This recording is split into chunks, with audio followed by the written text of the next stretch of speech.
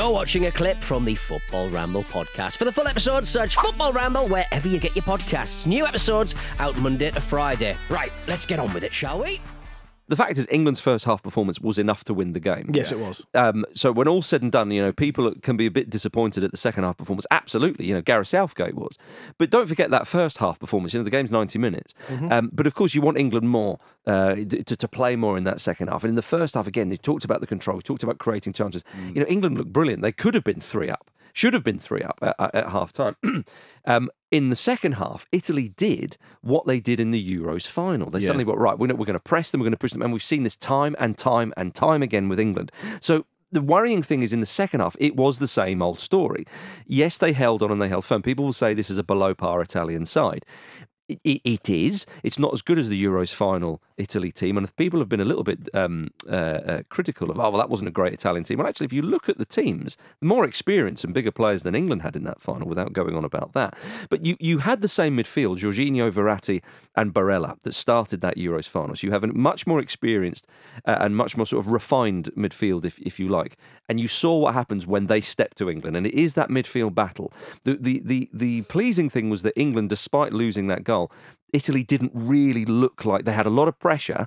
They didn't look like scoring that much. I know Yeah. people might say, "Oh, come on, it was a bit nervy." It was nervy, but England defended fairly well, and Italy I were agree. restricted, which is which is a good thing. Totally. And the goal, of course, was a It was a Maguire error. The only shot Italy had on target Yeah. was the goal. That's right. Right, so you have to bear that in mind. So actually, the mistakes that Maguire makes, which he then compounds with a further mistake, Yeah. is a key reason why England play, play the last half an hour under a lot of pressure. Yeah. Mm-hmm. because it gives Italy heart. The crowd get into it. It's a, we've been to that stadium. It's you know, so it can be a pretty cauldron-like atmosphere. Um, it gives Italy so much more than just a goal. It gives them a chance of getting something out of the game. Yeah. Which, based on the first half performance, as Marcus and Jim and you've already said, was absolutely no. There was no chance they were going to be in it at all. Yeah. And Maguire doesn't need to do any of the stuff he does to Yeah. make that mistake to compound that mistake. If you give the ball away, all right, take your medicine. Yeah, and get back, in, position. because the goal was scored mm. exactly from where he should be, exactly. And, he, and he compounds it with another poor decision, which to me feels like it's because he's not playing very much. Yeah. That means it happens. He's got that in his locker anyway, that kind of mm-hmm. clumsiness mm-hmm. anyway. Mm-hmm. Um, but then you know, so you point out all his faults and point out what he's doing to to hurt England in that in that situation. But then you have to come on, as I've said, the second half of the conversation where you say, well, who's going to play instead? And it's tough to to, to make an argument. Yeah. Do, do you think part of that is the, is the the aspects of game management that Southgate often att- attempts in these situations in the second half? Because obviously they were very defensive when they came out. It's all about containment early mm. on in the second half, in mm. particular. And I never feel comfortable with that, purely because, of course, you you ex, you know you have to manage games, but it gives teams the time to build the pressure. It's not necessarily about mm. um, you know being vulnerable to conceding straight away, but it you essentially hand the opposition a lot of time in which to figure you out. And we've seen that happen to England and seen them not have hmm. really an answer to it It's when they have then been figured out. And Over the years. exactly, it's like he's exercised a lot of demon Southgate and re- He has. reverting to type Mhm. is the main one And- that and he needs to, The only to get exa- rid of. The only example I can think of where England haven't done that was the game against Germany in the Euros. Yes. Mm-hmm. And and I don't know if that's because and there might be other games, Marcus, that you can remember better than me, but that might be because Germany weren't actually that good and it was at Wembley and mm-hmm. England were mm-hmm. pumping and they were really up for it. But the, I don't see why, perhaps because of the lack of legs in midfield, as we talked about with Phillips, I don't see why they renege sorry, they kind of hand over so much control and so much lack of initiative. But if you're going to do that, then play on the break and hit them on the Yeah. break. And I, I know things are easier said than done, but England have got players to do that. Saka gave them so many problems. yeah. You know, Kane's hold-up play was great. I mean, Kane performed very, very well. Yeah, it was fantastic. You know, you- Players like Lorenzo stuff were there for the taking. They're- Exactly, they're, yeah. They're, just, they're, Well, they're the- so creaky. Indeed, Bonucci, who is old, you know, he's aging. He he, he wasn't playing, so you know, one of their their main um, uh, defenders, you might argue. You know, they, they, they- I I I think that that's one of the things um, that England need to do, and that's one of the things that England can do because of the players they have. Grealish is a great outlet as well, and if not, then Foden Yeah. can, can come on. There's a lot there. Yeah, exactly. And when Sterling's fit, he's he's another. Foden one. got a good 12 minutes. I know, poor old Foden. But I mean, he was sacrificed, wasn't it? It was it was a as soon as the sending He off. was you sacrificed. uh, That seems fucking harsh. Sp- Or just because Luke Shaw got sent off. figuratively speaking. uh, you know, That's um, a really diplomatic incident across the Manchester divide, that. but I, I, I think that uh, with England, you know, y- you've got to get out, and if you just pump long balls, do you know? what I mean, to be honest with you, if you're going to do that, bring on Toney. He does that for Brentford, doesn't he? Do you know what I mean? Like, if, if you're going to revert to type, that's the funny thing. But obviously, that's that's a bit of a Yeah.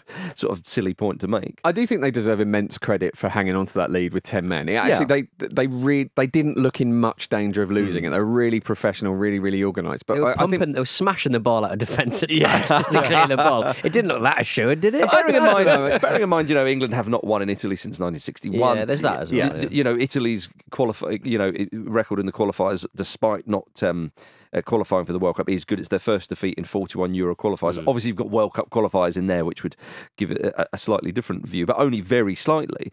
Uh, you know, England don't beat Italy often uh, in a competitive, and sadly, they don't count Le Tournoi as uh, a proper competitive uh, match. It, and it's it's been a long time, so I'll, it is a very good win. You can't get away from that, and it was a very good half, you know. But the second half, it, it, it's that reverting to type. People are a bit like, "Ah, come on. gives you some concerns, doesn't it? It seems Yeah. to me almost that England makes some sort of assumptions when they lead. It's like they think, right, we've you know we've we've got as many goals as we're going to score now. Yeah. It's impossible for us to score any more. Stop trying. Yeah. What we have, we hold, and it's not necessarily the case. And I think it's that. That, that way that England can become quite passive Mm-hmm. in really key moments of the game i- is very clearly still there, Mhm. and that is that is what needs to be Yeah. removed next. Yeah, I, I, I, I- I do agree. Um, I thought the referee was a little bit card happy. He likes to be involved. It does like to mm. be involved. Now, I, I thought the penalty was a penalty. I, I wasn't Yeah. sure at Yeah. first, but you can just see the arm lingers and then makes a slight But- but, movement towards the ball, know- which is not a natural movement. The Italian players did kind of make it a tough game to referee, though. They will Like, do that. You, you, you, you have a situation where sometimes you can genuinely see where, um, and then maybe maybe you could argue with the Maguire on Barella thing where he goes over the top and hits him on the top of the foot. With the way that there's a lack of protection in football boots, It's a nasty days. one, that. Yeah, you can see why that would have been an- annoying to players because they're like, hang on a minute, you're Yeah. fucking late. Yeah. That's clumsy, and Yeah. you could have really hurt one of our key players. Yeah, and plus, he's our friend and all the rest of it. So you get all that. But they they were really combative on every little decision. Yeah. And, and and that's what frustrates me. Not just not because they're Italian, not because it's bloody foreigners and all the rest of it, but as a general rule, it happens in the Premier League every, every week, Mm-hmm. and English players are just as bad at it half the time. What annoys me more than anything else with that kind of situation is like you're on the break, Mm. right? And there's a foul to stop the break, and the player gets a yellow card. And, and then the players just go on for 30 seconds. It's like, look, we know what's happened. Yeah. The foul's been given. Yeah. The yellow card's been given. That's the fucking law. Yeah. Yeah. What do you expect's going to happen? It's any Yeah, different. know, yeah. You're not going to get anything different to that. So mm. just get on with it. It's not like you can argue that particular decision because it's exactly how it happens every single time. Not many people know this, but um, in in rugby, only the captain can talk to the referee. yeah. We could learn so much from Couldn't them. we? Yeah. I mean, how many of those England players drank their own piss after the game, for example, Jim? How are they going to bond? Yeah. Grealish by accident In New York. in New York. Cheers for watching another fantastic clip from the Football Ramble podcast. Make sure you click like on this video and subscribe to the channel, which means you will not miss a single upload.